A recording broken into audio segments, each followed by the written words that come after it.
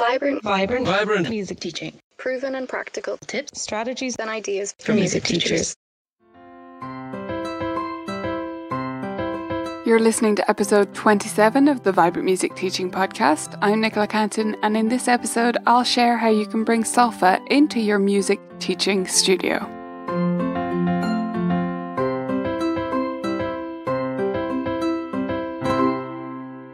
Hey there, lovely teachers. This week we're diving further into Solfa. So, if you didn't check out last week's episode and you're not familiar with Solfa and Kodály and all that nonsense, then you're going to want to go back and listen to that so you can catch up on what this Solfa thing is all about and how and why I believe it should be used in pretty much all music studios.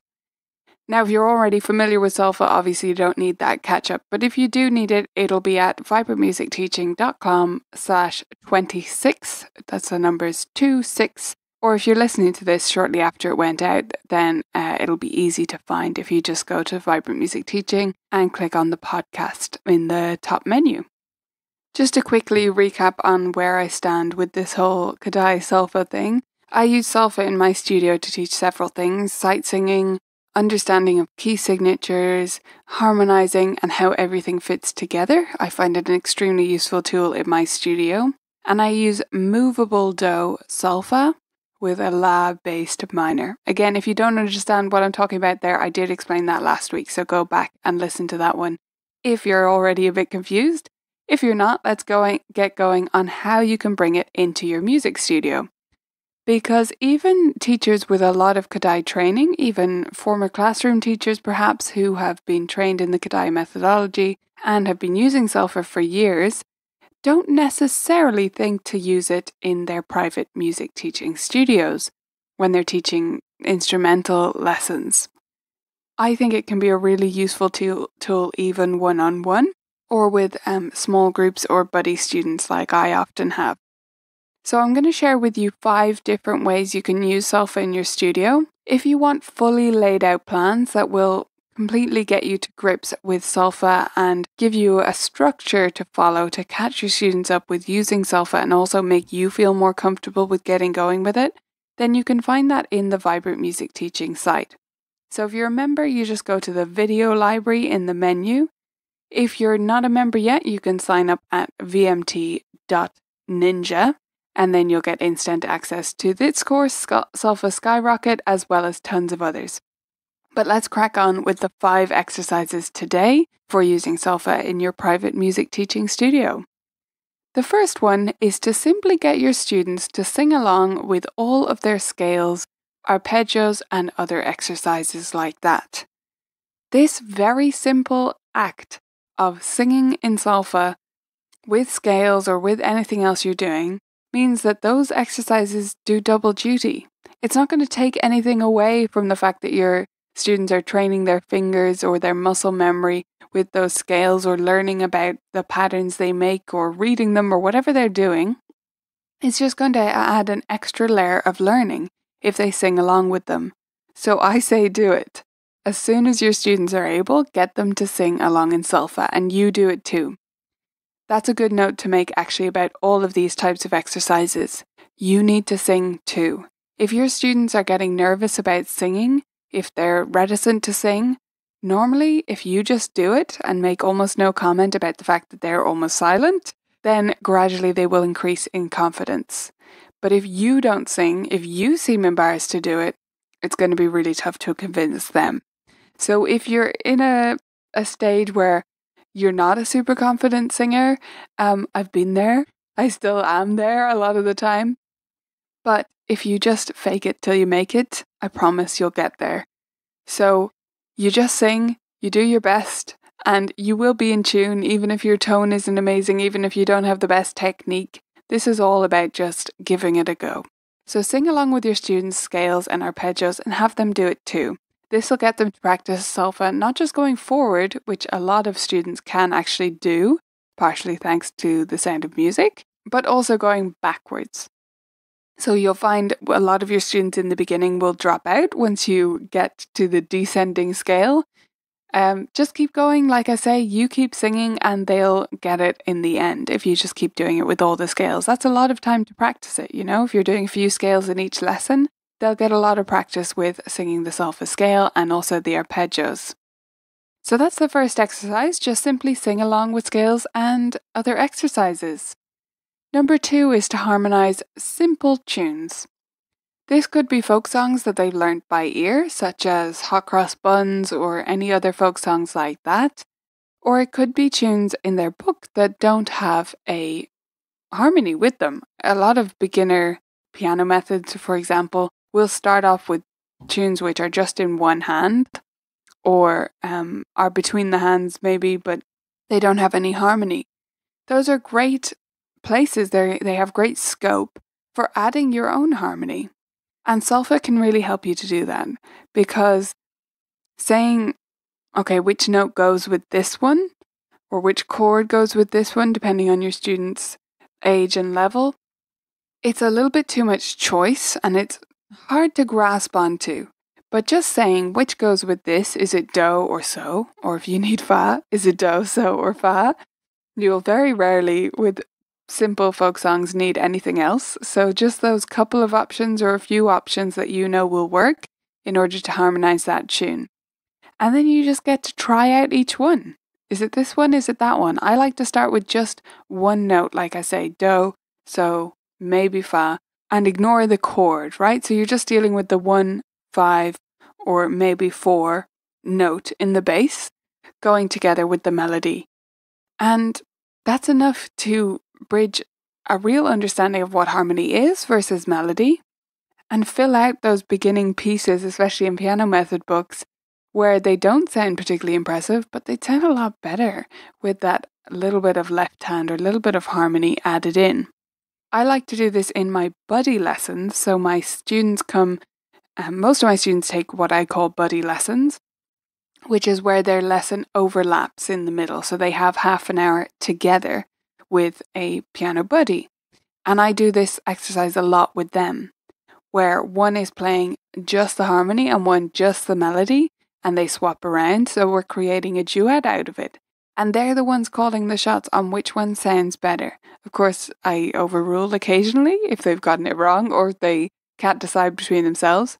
But it means we create this simple structure where they can easily remember their duet part and play together and really be listening to each other. And they'll sing along as well. They'll be singing, you know, do, so, so, do, or whatever the pattern is to help themselves remember. So again, they're getting that practice and reinforcement with the solfa as we go through. So that's exercise number two. So far, we've sung along with scales and we've done some harmonizing with simple tunes. By the way, if you're looking for simple tunes, uh, folk songs to teach your students by ear to sing with, then my favourite source for these is from NYCOS, which is the National Youth Choir of Scotland. So, as you may have guessed, if you have to ship that across the Atlantic, it might be a bit tough. But if you're over my side of the Atlantic, definitely check that out and even check it out if you're in the US. I don't know what the shipping is like. So it's obviously coming from Scotland. These are collections, they're called folk songs for, sorry, excuse me, singing games and rhymes for, and then there'll be different types. So for the early years, for ages 9 to 99, uh, different ones like that. Order any of those books. Honestly, they're all great. And even if you can't afford to get the different ages, it won't matter that much. They're a great source of singing games and stuff, it's super for using in group workshops if you do those. And I'll pop a link to NYCOS in the show notes, just if you're looking for folk songs. Now, on to exercise number three that we can use to bring solfa into our studio is to do singing first sight reading. So, anytime your student has a new piece or a piece of sight reading, you can decide which of those is better to go with in your studio or with your particular student you get them to sing it first in solfa. Work out what it would be in solfa, sing it as a rough idea of how it would sound. It doesn't have to be accurate. And then they play it, and then maybe sing it again or sing along playing it a second time. They will learn so much from doing this about reading, about notes, about singing, and about ear training. It's such a fantastic exercise to do. I know several teachers who do this with all their sight reading cards. So they're using the sight re- uh, piano safari method. They come with these sight reading cards with these simple melodies on them. And a lot of teachers will do those as singing first, and I'll do them as singing in solfa first as my students get used to solfa and can, can manage that. And it, really is just such a rich activity that can take literally one minute out of your lesson. So that's number three. On to number four singing warm ups with posters. Now, again, I'll leave a link to this in the show notes because I have posters that you can download to use with this. So, this is, um, I have these hand signed posters of Solfa that I have stuck on the back of the door in my studio. And I use them in so many ways to do with Solfa. But one of the biggest things I do is simply pointing to them as a way to direct students of what to sing.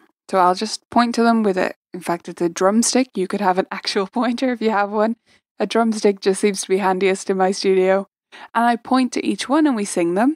And then I might get a student uh, to point to them. As I say, I have a lot of time with students, like two or three students together, where the lessons are overlapping. So I'll get one student to be the pointer, and the others are following what they are pointing to and singing along. And we all sing. Even the conductor has to has to sing as well. And I specified to them which notes they can use and whether we can do steps or skips. So they're learning about those patterns, understanding their own learning process as well, because they'll ask me, well, why can't we do that?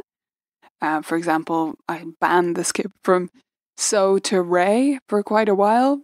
And you know, it's pretty simple to just explain, take it to the piano and sing along with the piano and go, isn't that pretty hard to find? Yeah, okay, so we we'll delay that till later. Let's do the ones that are easy in the beginning. And that's kind of part of the Kodály method philosophy as well, is that kids should be doing things that are easy, that are accessible to them, right?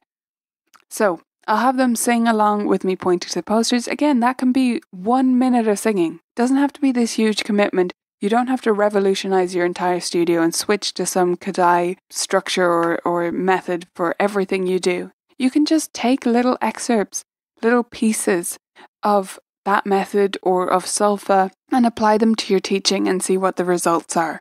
Do some experiments, you know? Okay, our last exercise I want to share with you today, the fifth one, is aural ID. Now, what I mean by this is that I'll play do, re, mi, for example, on the piano in any key, and I'll sing along with it as I play, and then play the last one and ask them what note it is. I have students answer me in different ways. They can sing the note back to me, they can say the solfa name, or they can be doing actions to answer me. So I have them sit down on the floor for do, kneel for Ray, stand up for me. When we introduce so, I have them do that with their hands in the air or one hand in the air and then two for last, stuff like that. So we build up to the pentatonic scale that way and then build up to the major scale from there. I'll be specifying which one of those they're doing, but I'll mix it up. All have basically the same result, but they just provide a bit of variety for my students and keep things fun and interesting for them. Another way I've done it actually is to have them answer me on the piano. So where I'm playing, I tell them where we are that we're on the three black keys or on CDE or something like that, and have them play the note that I'm playing back to me. So that's five ways you can use solfa in your studio. Let me take you through them quickly again so you remember them. You can sing along with scales and arpeggios. You can harmonize simple tunes using just, say, do and so and figuring it out by ear. You can sing all sight reading or all new pieces before you play them. You can have your students sing warm ups by pointing to posters which you can grab on the Colourful Keys site, which I'll link to in the show notes for today.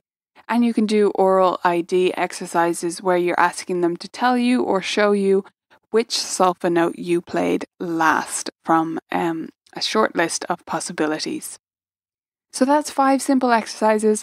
What I really want you to do is to try one of them. Pick one of those. Which one sounds the best to you right now? Which sounds the easiest and the least nerve wracking to get going with if you're a little bit nervous of this, pick one of them. Just one. Don't try to do them all.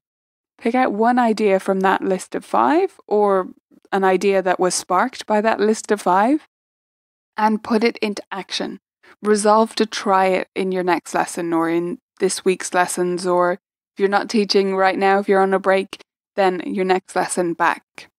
Write it down for yourself, commit to it, give it a go. You might just have fun. I, I'd, I'd be willing to bet that you will. Next week on the podcast, we're going to dive into different rhythm systems. So, we've been talking about Kodály and Solfa. Another big part of Kodály is the rhythm syllables, and there are many other rhythm syllable systems. So, I'm going to take you through the different systems, what I see as the benefits of each, where I land with them, and how you might like to use them in your studio. That's next week in episode 28.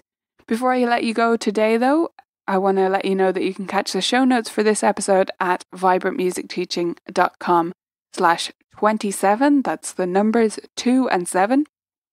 And I also wanted to let you know that I have a webinar coming up soon all about improving your students' rhythm in three minutes or less. So much like the Solfa exercises today, these are super quick ideas for rhythm, and we all know how much we want to improve our students' rhythm. So that webinar is going to take you through different exercises and ideas and how to improve your students' rhythm in just a few minutes out of every lesson. You can find out more about that just by going to Vibrant Music Teaching or Colourful Keys and signing up for the webinar there. Or you can go to vibrantmusicteaching.com slash rhythm to sign up there as well. That's it for this week. I hope you enjoyed these Solfa teaching ideas for your studio. Let me know which one you try out and how it goes in the Vibrant Music Studio Teachers Group on Facebook. And until next week, I hope you have a fantastic set of lessons this week and I hope you have fun. Bye for now. If you're a member of Vibrant Music Teaching already, you can catch the full Solfa Skyrocket course in the video library. Just click on the video library tab in the menu up the top and you'll see Solfa Skyrocket at the top of the library. And if you're not a member, you can sign up, and you absolutely should, at vmt.ninja. Get access to that course as well as tons of others and everything else going forward.